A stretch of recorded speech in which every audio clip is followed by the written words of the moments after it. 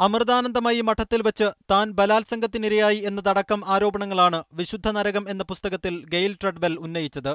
ഈ വിവരങ്ങൾ പുറത്തുവന്നതിന് പിറകെ അമൃതാനന്ദമയി മഠം തന്റെ പേരിൽ വ്യാജ പേജ് നിർമ്മിച്ചുവെന്നാണ് ഇവർ സ്വന്തം പേജിൽ കുറിച്ചത്.